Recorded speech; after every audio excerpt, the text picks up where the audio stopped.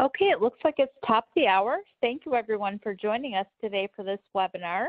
Um, just a couple quick, quick things before we get started. You can use your chat function throughout the webinar to send in any questions you might have, and we'll try to get to those at the end of the webinar. And the certificates for the U.S. attendees will be available on your account by logging in this Friday. And I'd like to hand it over to Severine to go ahead and introduce our wonderful speakers today. Thank you, Kim. Across the world, the COVID-19 pandemic has affected all aspects of our lives and breastfeeding is no exception. Our responses to the pandemic have significantly impacted maternal and neonatal clinical practices, including breastfeeding support services for pregnant women and mothers, which in turn result in disrupted breastfeeding behaviors. As the pandemic struck, Medela has set up a series of webinars for healthcare professionals dedicated to share up-to-date information and the latest evidence so breastfeeding is preserved. Today's webinar is to review the conclusions from the evidence accumulated until now about breastfeeding and COVID-19 and what learnings from this evidence can be applied to clinical practice around breastfeeding. I have the immense pleasure to introduce the two presenters of today's session. First, Dr. Nania Scherer Hernandez, who is the Director of Global Education and Training at Medela in Switzerland. Dr. Scherer Hernandez has background in molecular biology and virology and has been in charge of the education function in the medical device industry for many years. Lately, her education focus has been on evidence-based lactation care practices, acknowledging own mother's milk as a medical intervention in the NICU. The second speaker is Dr. Leon Mitoulas from Australia, who is the head of medical research at Medela. With background on molecular sciences and specifically on lipids in human milk, Leon is responsible today for building the breastfeeding research portfolio at Medela. At present, Leon and his team are focused on understanding more about milk synthesis and removal, both by the infant and the breast pump, as well as exploring milk composition and the benefits to the infant. Leon, Nania, the floor is yours. Thank you, Severin, um, for a wonderful introduction. Uh, hello, everyone. Welcome. Uh, wonderful to be able to talk to you all today about a a topic that Severin has uh, has outlined uh, that's very important to all of us, and it's something that uh, really motivated us to understand more uh, about the impact that COVID-19 uh, has had on breastfeeding, human milk, and even um, maternity and human milk services. But one thing we we did notice uh, is that as this year has progressed, we've seen just the impact that COVID-19 has had on all of us. And I think it's pretty safe to say that, you know, at, at this time last year, very few of us would have anticipated that we would have had the 2020 uh, that we actually had. And so the impact on our, you know, our work uh, and the way we live has been profound. And what we've also seen is a significant impact on, you know, breastfeeding and human lactation uh, as well. And that's an area that is is dear to our hearts as it is yours. And it's an area that we also noticed that you know, as as quickly as the virus was was spreading around the world, so too was this uh, wave of misinformation, or sometimes even just a lack of information that relied on people either filling the gaps uh, of that information or really trying to scramble to try and understand better what was happening. And that's really what motivated us to, to have a look through the literature to try and see if we could pull out the key elements uh, of the evidence to, to really understand and cut down and, and cut through the misinformation so that we would have a, a stronger sense of, of what was going on, what was happening, and what needed to be done. And uh, that article that we wrote uh, is available in Frontiers in Pediatrics. Uh, I encourage you all to, to go and have a look at it. The, the web address uh, is also there on the screen for you uh, at the moment as well. But what we'll try and do is summarize through some of the key um, findings that we had in that article uh, through the rest of this presentation. and it'll be myself and, and, and Nania. We'll, we'll go through the presentation and, and we'll switch backwards and forwards a, couple of times as we, as we progress. So a good place to start um, for me always is, is at the starting point. So uh, next slide, please. And that's looking at the virus itself. And the uh, COVID-19 or uh, disease is caused by SARS-CoV-2 virus. And there's some unique elements associated with SARS-CoV-2, which I think also help us in understanding where some of this misinformation comes from or the genesis of it. Um, some details with SARS is that it's a, a positive sense single-stranded RNA virus. That in itself is not entirely unique. Uh, there's a, about a third of all viruses tend to be in this have their genetic material packaged in the same way. The interesting, I think, for us is that that positive sense RNA effectively acts like messenger RNA. So once that virus infects a cell, that genetic material is quickly and easily read uh, by our own cells' um, mechanics uh, and uh, quickly translated as well. I think other elements here that you're probably very familiar with by now as well is the, the spike uh, protein and hemagglutinin. These are uh, responsible to help the virus, you know, find the, the cell and to get into the cell when it's uh, infecting the cell. And other areas that you may have come across in your reading also are the N protein and the uh, envelope or the E protein.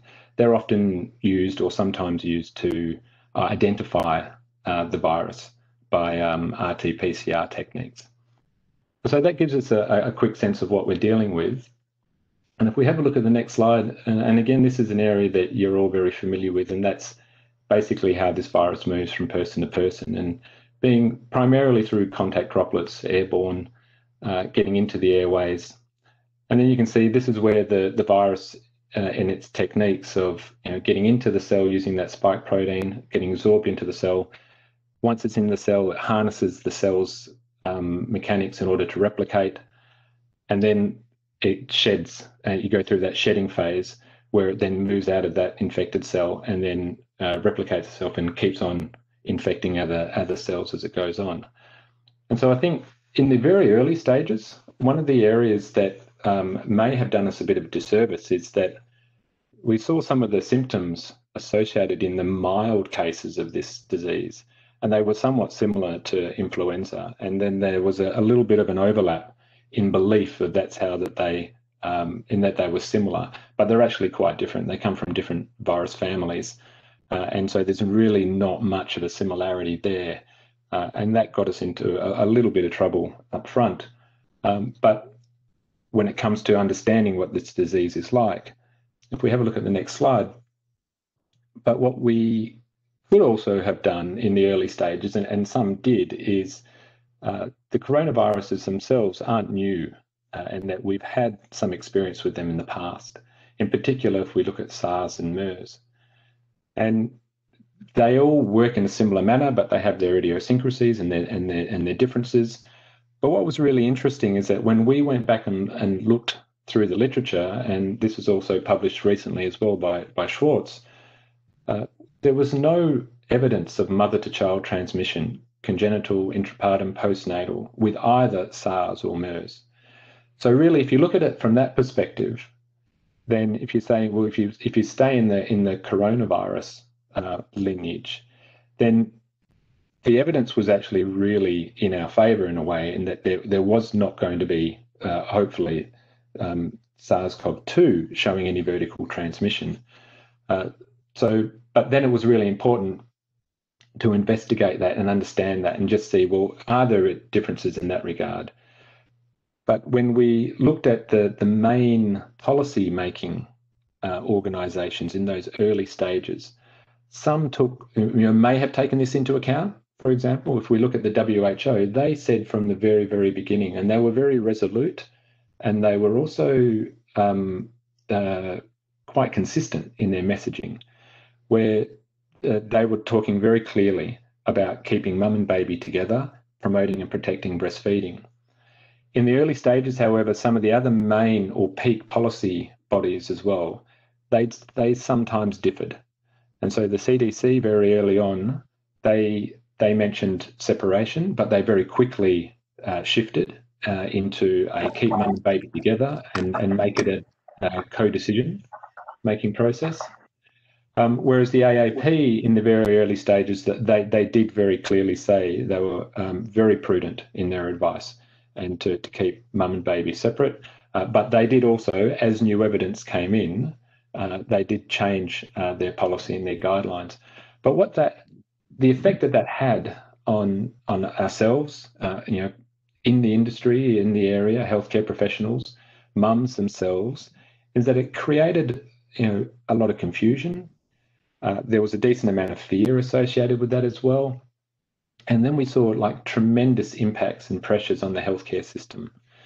And those pressures came from multiple areas. I mean, you're probably all very, very familiar with the pressure associated with that, where we could see, you know, healthcare professionals being furloughed, for example, or we could see resources being redirected from maybe from one area in uh, in a hospital into a, a COVID-facing area.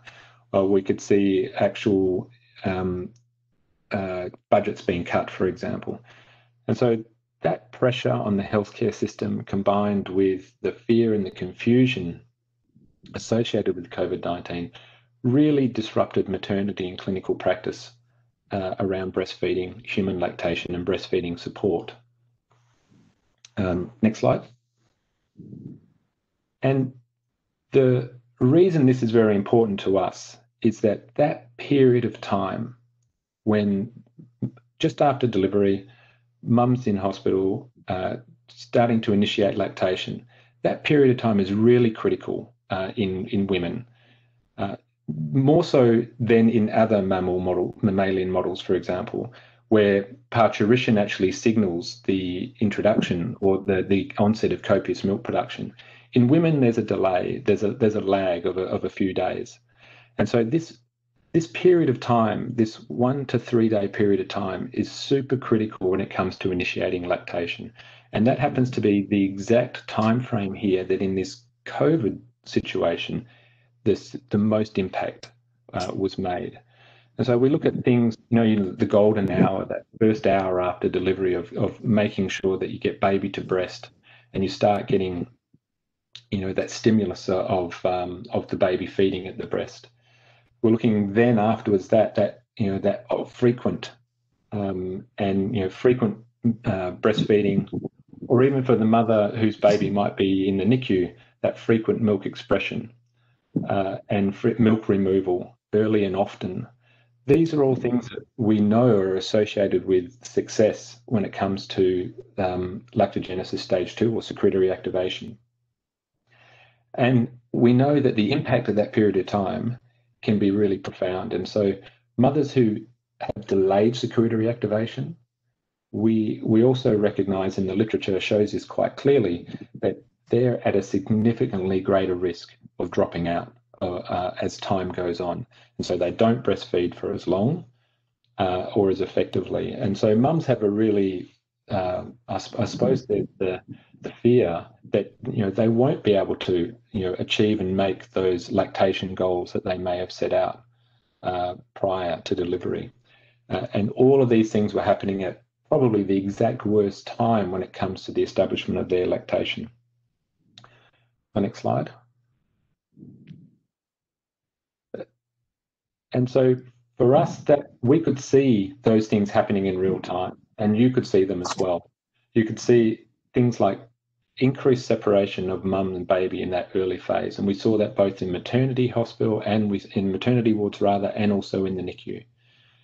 We also saw a decrease in the support being offered to those women in those uh, wards as well, uh, because there were less staff present, for example. There's less bedside support.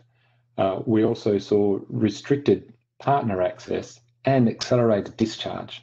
So when you combine all these things together, we started to to see really strong negative trends when it, you know, all the things that we know help promote lactation and the initiation uh, of milk synthesis. We saw a lot of them being taken away, uh, and that was quite detrimental um, and a lot of that was being taken away because there, there wasn't a strong narrative on how to set uh, that scene. And the evidence really in order to support and protect and promote uh, breastfeeding uh, in those environments uh, wasn't strong enough. It wasn't there uh, and and it wasn't uniform enough. And so if we go to the next slide the impact that that had was that whilst initially you saw a very strong willingness from mums to provide their breast milk and to breastfeed their kids what we started to see was uh, that um, willingness being chipped away and that significant portions of mums were, were changing their plans. And that could have been as high as you know one in five women, for example, in the in the French data uh, that we saw, where um, mums were deciding to either not breastfeed or to breastfeed less or to stop breastfeed uh, or feeding their own milk to their babies because of the coronavirus. And you can see even in the in the US, this number was you know pretty close to the one in five um, um, mark as well. Uh, and across the board, we averaged it out at 14% is what we noticed in the literature. So there was a significant impact uh, from the coronavirus, not just in our daily lives, but it, in it started to manifest itself in the breastfeeding, the lactation world, because it was impacting right at the exact wrong time, and it was really taking its toll um, on mum's uh, anxieties and behaviours and our healthcare uh, practices.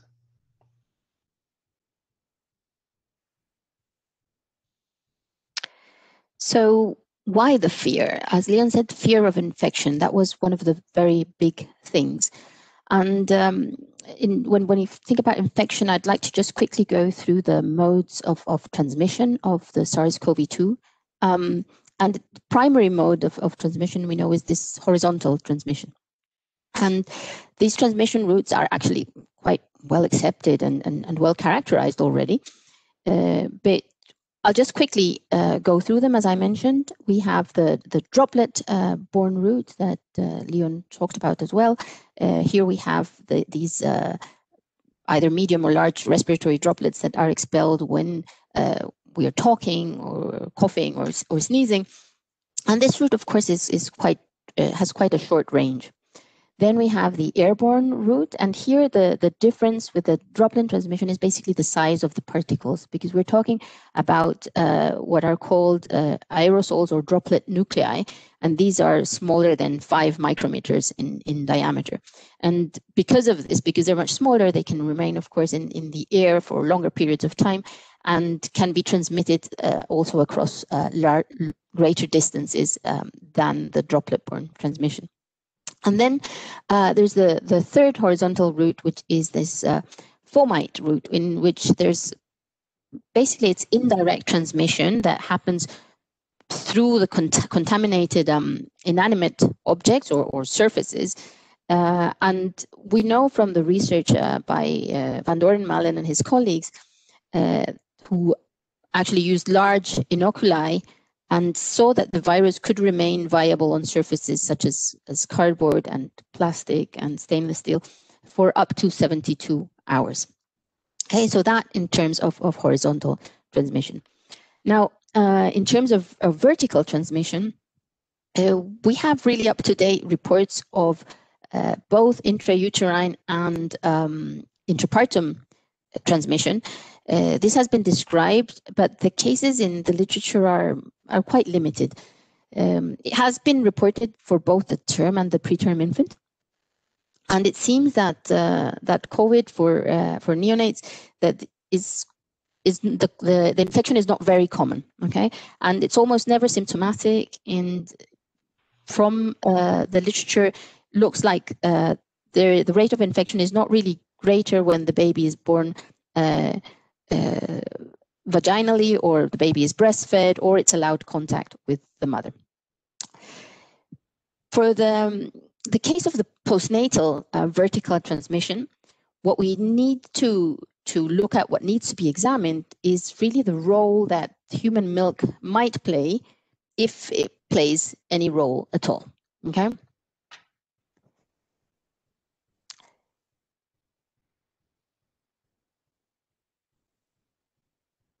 Now, um, there have been indeed reports of detection of, of the of, of the virus in breast milk, but all these evaluations have been uh, done collecting samples in different ways and handling uh, and storing the samples differently and carrying out different assays uh, to detect the virus.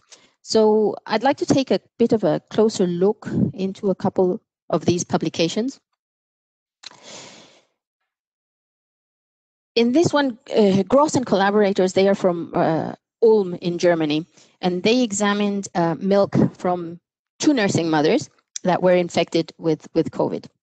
And if you look at the figure here, after admission and delivery, um, there were four samples from mother one that tested negative. Okay. But the milk of mother two tested positive at day 10, at day 12, and at day 13. While the samples taken after that, if you uh, if you see after that those three red, uh, the four red bottles, sorry, there's white bottles that are negative because the samples taken after that were negative. Now we have positive samples for mother two and, and, and all negative samples for mother one. What does this mean now? Does it mean that half of the mums are going to have positive samples? So if we look at the study done by Chambers and collaborators, they're, they're uh, in California, uh, they analyzed milk samples from 18 mothers. Here you see on, on, on the left side the numbers 1 to 18, those are 18 mothers. And the line that you see at, at time point zero is when they these moms tested positive for COVID-19. And as you see here, the milk samples were collected before and after the COVID test, and some samples were collected when moms were uh, asymptomatic. These are the, the, the boxes that are not filled, and the dark boxes were are the samples that were collected when moms were symptomatic. So we have quite a range of, of, of, of different uh, samples. Now, um, when they tested these milk samples, we had one mother that had one positive sample. Okay, so and it was one not just one mother out of 18, but one sample out of 64 samples uh, in total that tested positive. Now, other researchers have uh, also shown that these positive milk samples are, are, are transient. Um, and because of this, it has been difficult to, to rule out contamination of the milk for, uh, for example, uh, via respiratory droplets from, from the mother who could have coughed uh, over the sample or something like that so this could be a possible explanation for these positive uh, breast milk samples found. But we're talking about these positive samples, these uh, intermittently positive milk samples. But what is a positive milk sample? What does it actually mean and how, how is the sample tested? So the assay that is that is made, and Leon mentioned it uh, shortly before, is an RT-qPCR. This is a quantitative reverse transcription polymerase chain reaction. And it's an assay that is used when the starting material to be detected is RNA, because remember, in this case, the SARS-CoV-2 genome consists of RNA. So this RNA first has to be transcribed into uh, complementary DNA, and this is done using the reverse transcriptase enzyme. And then this complementary DNA is used as the template for the quantitative PCR reaction. So what happens here is that parts of this DNA are amplified using specific primers. Um, you see here on the on the diagram on the left uh, that there the, the primers are these uh, are, are shown by the arrows there, and we have primers to amplify fragments of the N gene, that's the nucleocapsid protein that Leon also showed, um, and these are used as the screening assay. And the amplification of the open reading frame 1b fragments, uh, that's the yellow uh, uh, open reading frame on the on the genome, uh, these are used as confirmatory assays. So basically the answer to the question, what is a positive milk sample is it is a sample that has been tested positive for the presence of viral RNA fragments. Now, the important thing to remember here is that these RNA fragments do not necessarily have to be part of an active virus. Okay, so then can the virus be transmitted by breastfeeding? Or actually, the question we're asking is are those RNA fragments which have been detected in milk part of a replication comp competent virus or not? So Chambers and colleagues took their 64 um, milk samples, including the one that tested positive for the presence of, of the viral RNA and used them in uh, a validated viral infection and, and replication assay that, uh, that they had established that they knew worked for human milk. And this is an assay using cell cultures. So in short, what they did is um, they added the milk samples to cell cultures. They incubated the cell cultures for four days. And then the cell cultures, cultures were tested uh, for active uh, replicating virus by looking on the one hand for cytopathic effects in them and also by checking um, the viral RNA presence using RT-qPCR. There was no active virus found in any of the samples, including the one that had tested positive for viral RNA. Okay, so this is for me really important because when one looks at the titles of, of, of, of some of the publications, one might have, have the impression that there is actually virus in the milk. And as I said, the what what comes from uh, the results of these Q, uh, uh, sorry RT qPCRs is just that there's at least pieces of RNA there, but they don't have to be part. It could be a denatured virus, it could be parts of a virus. It doesn't have to be part necessarily of an active replication competent virus. So uh, these uh, assays done by chambers are really important in that they tell us that even when they have found um, these RNA fragments, there is no um, replication competent virus that can cause infection that is present in milk. Another thing that was also tested by different um, researchers, especially when it, they started seeing, okay, there's there's viral RNA present. Uh, it could be that there's virus there. If there would be virus in the milk, can we uh, get rid of it somehow? So it was really the um, the effect of pasteurization on SARS-CoV in human milk. Again, SARS-CoV-2 active virus has not been found in milk samples. So what was done is that active virus was artificially added to milk samples, and then these samples were pasteurized and tested in these viral replication assays. So indeed, Holder pasteurization um, is able to inactivate the replication competent uh, SARS-CoV-2 uh, that had been added to, uh, to the milk. And that's for sure good to know that if there are any concerns about viral contamination of milk, the milk can still be used if it is pasteurized.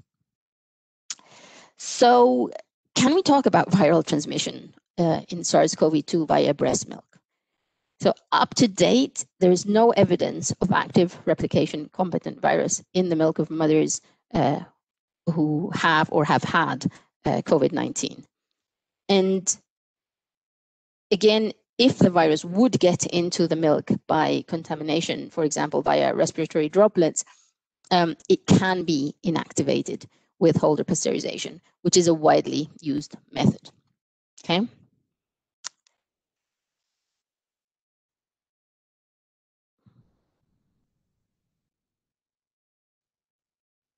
Nania. So whilst we know what isn't uh, in the milk, uh, we started to see some literature appear telling us what was in the milk, and this is in, this is quite interesting. This data was looking at specific protection uh, that the milk can provide.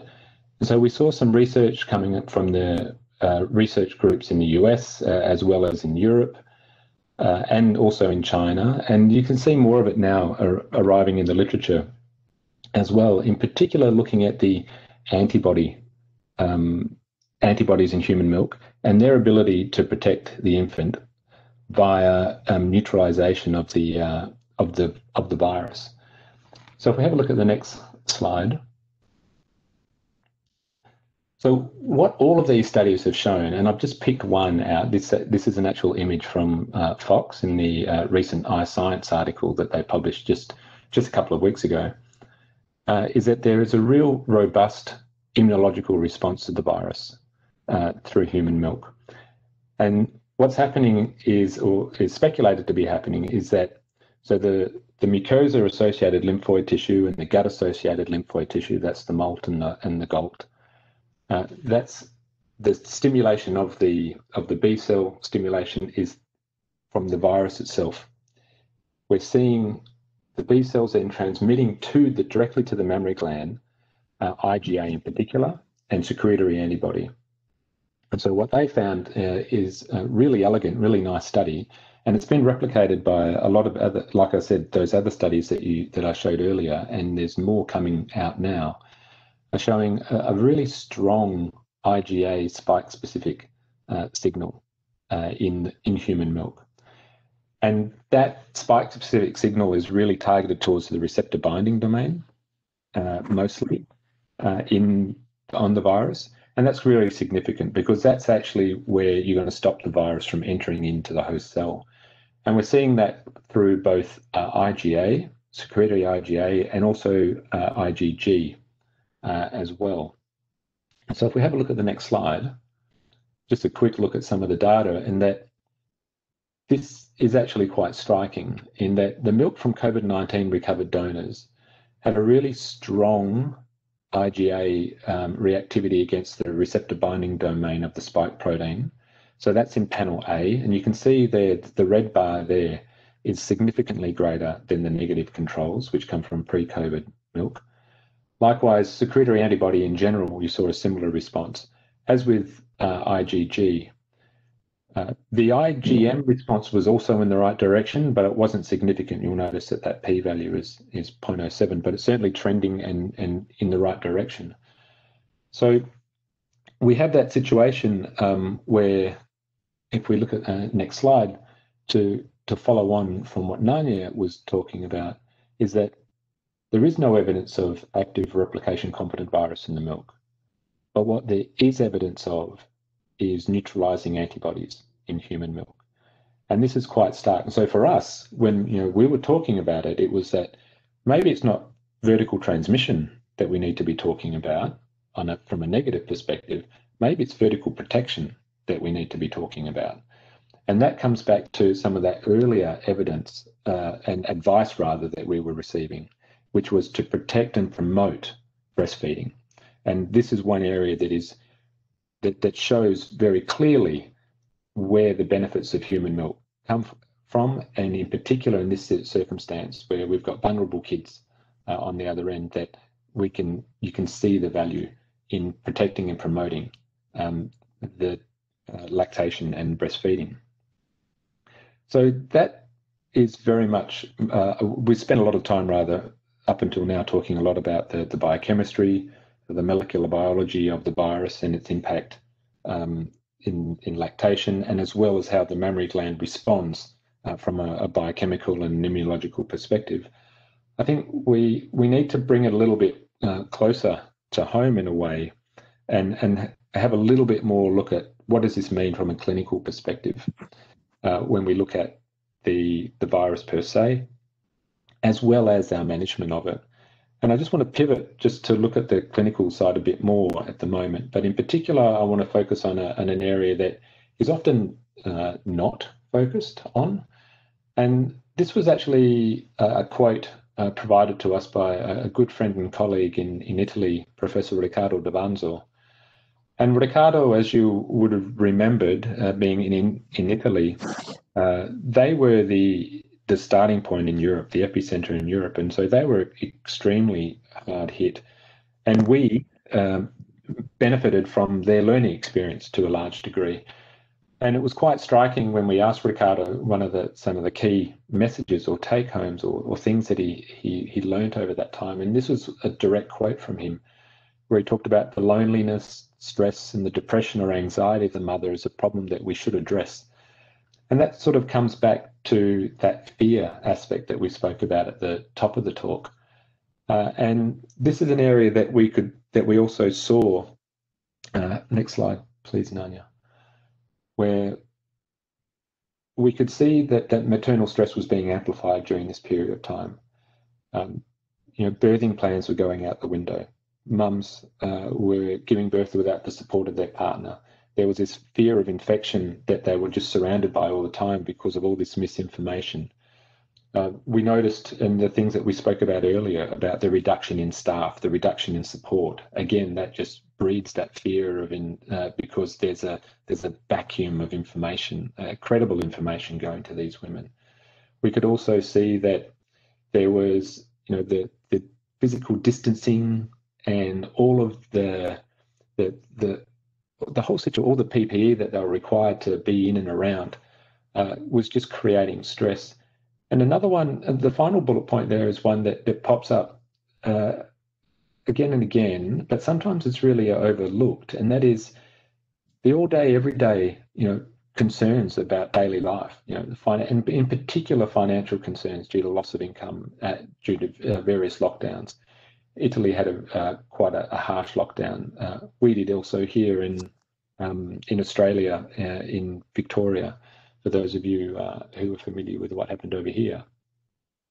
So, in the literature, this started to manifest itself when we started to see more uh, research coming out in the literature that was really starting to document uh, this maternal stress.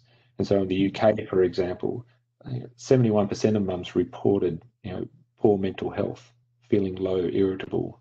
We saw data coming out of the US that showed that you know, the COVID-19 situation created additional stress during the hospital stay.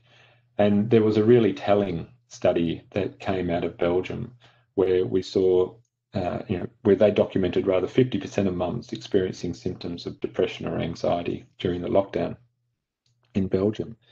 And that was, you know, when you put that together, similar to the you know what we spoke about before about those things impacting you know that very vulnerable stage of the initiation of lactation we've now got stress impacting a very vulnerable stage of, of mum's lactation and that is her confidence and and you know self-efficacy. We know once you impact those areas it's a steep and slippery slope and you know a quick exit from the from breastfeeding and from lactation. And so it's really important to address these these areas and to you know arrest that decline, arrest that slope to try and keep uh, mum's confidence up to to keep providing her with you know strong and consistent and evidence-based information uh, as well to to address in particular these uh, the, this maternal this aspect of maternal stress. But it's also important to do that as well, and then look at all the other clinical uh, implications associated with their their care uh, whilst they're um, under your care or in your hands.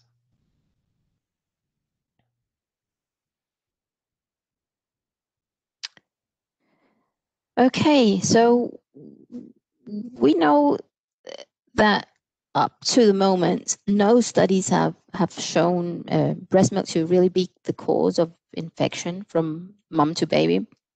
And moreover, the studies suggest that moms who have or, or have had uh, COVID 19 produce milk that provides the baby some form of protection against the virus, as Leon just uh, just showed.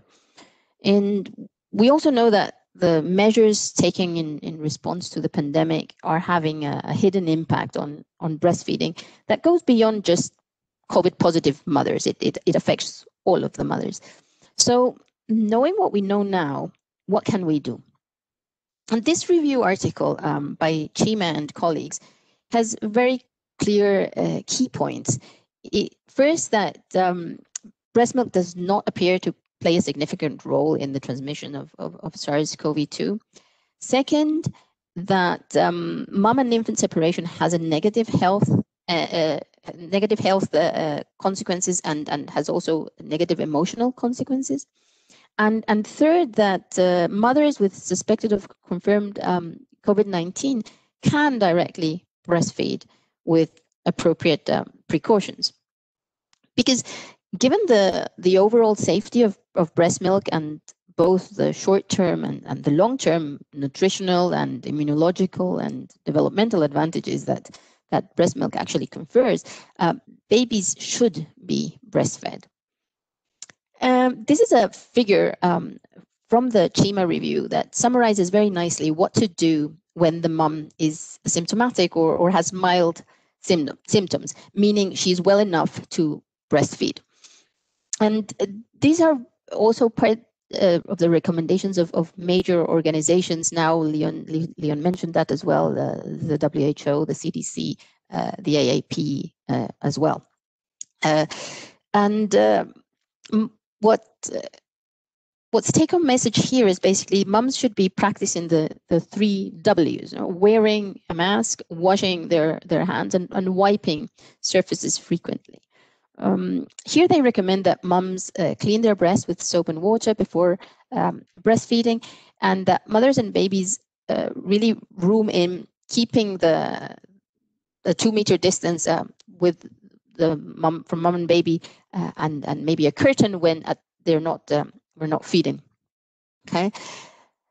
The other figure, uh, also from the Cheema review, that summarizes what to do when the mother is unable um, to breastfeed because she has either moderate or severe um, COVID-19, just tells us that the mother can express her milk with a double electric hospital grade breast pump, that the milk should be stored in dedicated fridges or freezers, and the baby can be fed express breast milk by a healthy caregiver then. Okay. So basically keep mom and baby together and avoid the horizontal uh, routes of transmission. We, we know that healthcare care professionals play a role in a mother's breastfeeding journey by supporting them uh, immediately after birth to start initiating an adequate um, milk supply. And they continue to play a role with ongoing support through the early days that constitute this critical window for the initiation and the establishment of lactation that Leon um, mentioned a while ago. So in order to protect and promote breastfeeding during these uh, first 24 hours in the hospital, it is important that mums and babies are kept together we know that placing the infant skin to skin directly after birth is best practice to encourage that uh, that first breastfeed within within the first hour, uh, which promotes a longer uh, breastfeeding relationship. And as we mentioned before, the latest guidelines from the CDC and the AAP recommend that all mothers, even those um, with COVID-19, um, should stay together with their babies, ideally rooming in. And just uh, take appropriate precautions to minimize the risk of infection. Also, due to the measures taken in response to the pandemic, we know that the personnel resources in, in the hospitals are limited. So it makes sense to focus the limited resources on monitoring uh, the mothers that may need more support, mothers with lactation risk factors, so that if the baby is not able to breastfeed effectively or is not able to breastfeed at all, these moms can get initiation support with a double electric grade pump with initiation technology. So what are the uh, some of these risk factors that warrant monitoring? We have uh, primiparity, you know, first time being a first time mom, age over 30, obesity, BMI um, uh, body mass index over 30, and also emergency C-section. Why do these mums need to be monitored? It's simply because we know from research that women in these um, categories tend to have delayed secretory activation, meaning that their milk comes in after 72 hours.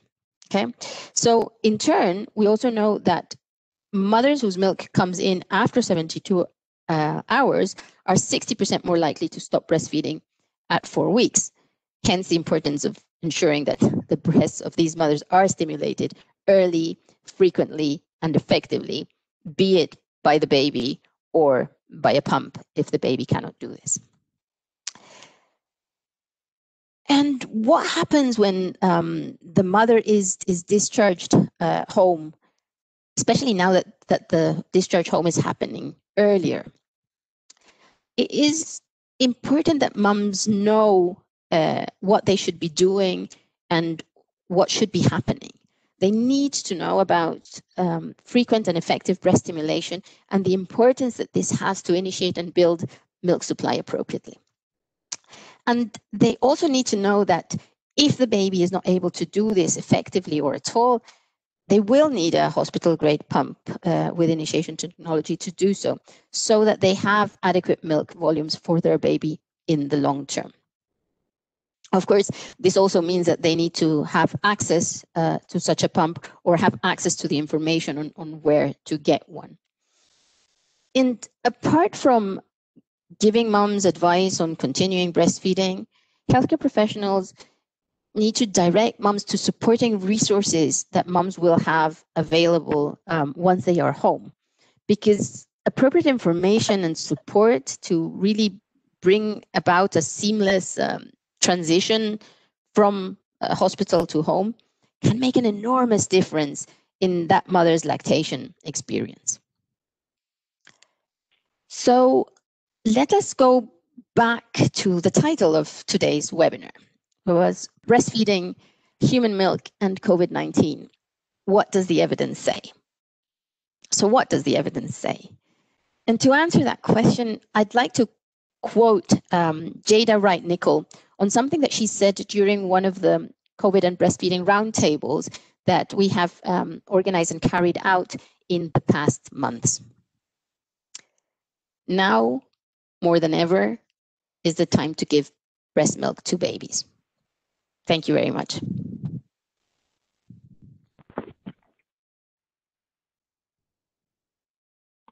Thank you, Nania and Leon, for that great information. Um, we do have some questions coming in.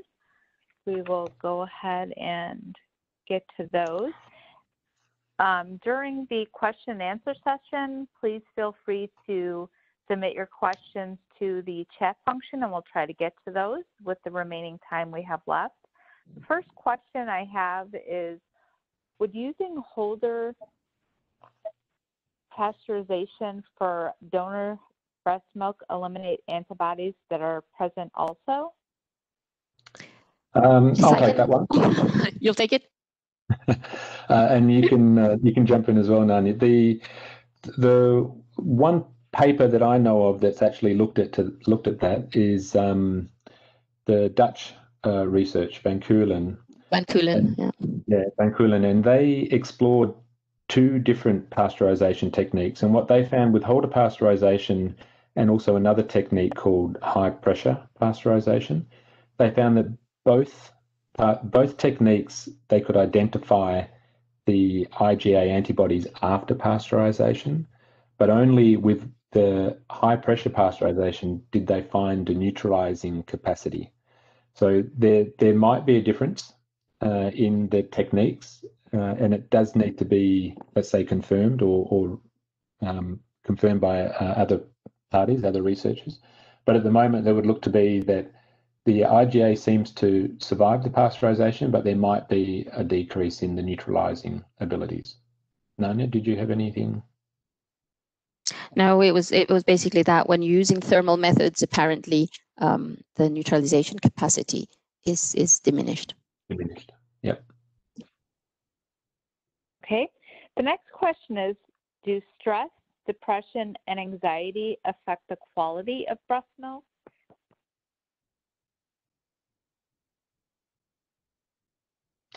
Sorry, Rip, can, uh, can you say that one again, Kim? You cut out a bit.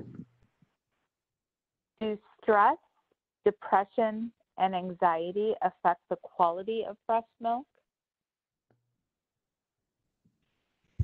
I would say no, uh, at this point in time. I would need to go back and have a look at the literature. Um, we the composition of milk is quite robust, and what we've seen in the literature over many many years is even in, in periods of, of very high stress, uh, so in you know conflict zones, uh, or even in in the face of natural disasters, um, mothers are able to produce uh, good quantities of milk uh, and and the milk of uh, of a similar um, composition.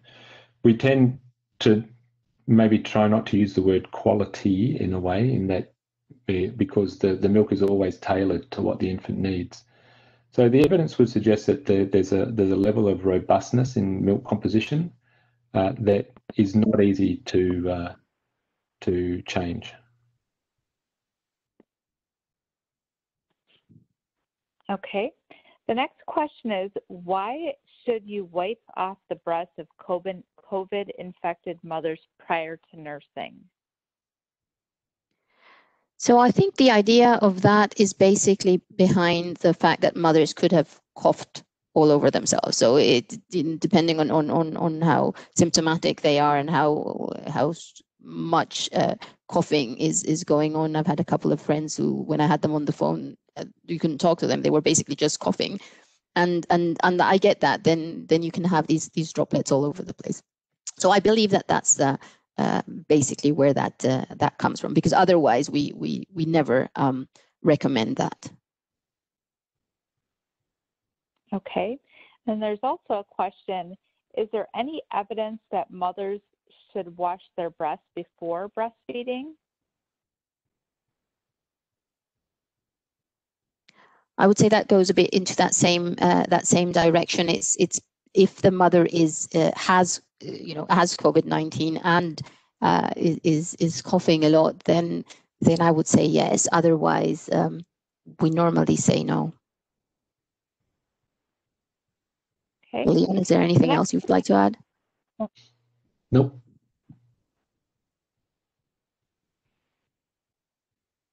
Okay. The next question is when a COVID positive mother pumps, should the milk storage container be cleaned with a disinfectant? You mean on the outside? Um, it doesn't say specifically. So let's just say either inside or outside. Yeah, I, I think it goes along the same lines as, as the, the previous question uh, in that the contact droplets and, and Nania spoke as well in the in the talk as to how long these droplets can survive on surfaces, be it plastic or stainless steel or the common surfaces that we find uh, within a, a, hospital environment. And so the idea that if you've got a mum who is either uh, COVID positive, COVID 19 positive, um, or suspected uh, of being positive, then the prudent way, and I, and I think that some of this data was uh, also published um, uh, previously as well in JHL, is to make sure uh, that you have you know the containers are clean uh, on the outside and that they're they're recycled and reprocessed um, very carefully. I think also if you go to the literature, the the data that uh, or the paper that that Nania quoted uh, as well, the Cheema uh, and colleagues in the US, they call out very much about keeping the COVID positive um, milk in a dedicated freezer, and I think that is primarily for that potential of outward uh, contamination into into other milks uh, also. So I would say that uh, a level of prudence is required um, because of the contact droplet uh, ability to to stick and, and stay on surfaces over a period of time. Nania? Yes, I, I, I believe that's uh, because in principle those mothers are um, recommended when when they are pumping they they have to wash their hands before uh, they are, are wearing a mask so we're really trying to contain that uh, level of fomite transmission um, but there's there's that recommendation and there was a there was quite a, a thing in the literature remember with that um, marinelli paper uh, mm-hmm. about cleaning the the bottles on the outside uh, where one had to be really careful what what kind of disinfectant one uses if one actually does that. Uh, make sure that it's it's it's an appropriate one and not something uh, super harsh or or that is not um, uh, for food um, food grade, uh, stuff. Yeah. Okay, thank you. I don't see any more questions coming in. So Nani, if you want to go to the next slide. We would like to invite you to take a look at a brand new dedicated web page that is for healthcare professionals. Medela is launching today, actually, on our global impact of COVID on breastfeeding. And we'll, um, I know that the um, website link is on the screen right now, but we'll go ahead and email this link out to everyone so you don't have to write it down. But it contains a lot of resources such as evidence reviewed in today's um, webinar, important facts and figures from research, and educational materials for, for professionals. I'd also like to um, let everyone know that registration is also open currently on medelaeducation.com for our December 10th webinar, as well as our December 16th webinar. So you can visit there today and register for both of those. And the certificates for our U.S. attendees will be available by logging into your account this Friday. And again, we want to thank everyone for joining us today for this webinar. Thank you, Leon and Nania, for presenting this great information for everyone. And I hope you have a great uh, rest of your day. Thank you. Thank you, everyone. Thank you very much.